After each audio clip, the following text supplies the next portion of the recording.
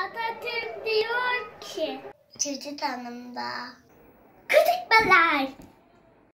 Sizler geleceğin bir gülü. Yıldızı ve paylaşıyorsunuz. Memlekette asıl ışığa boğacak olan sizlersiniz.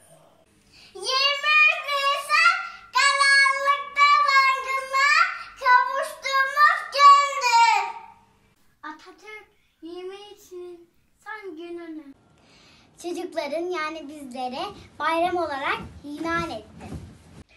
Özgürlüğünde, eşitliğinde, adaletinde, dayana ulusal egemenliktir. 23 Nisan akşamı.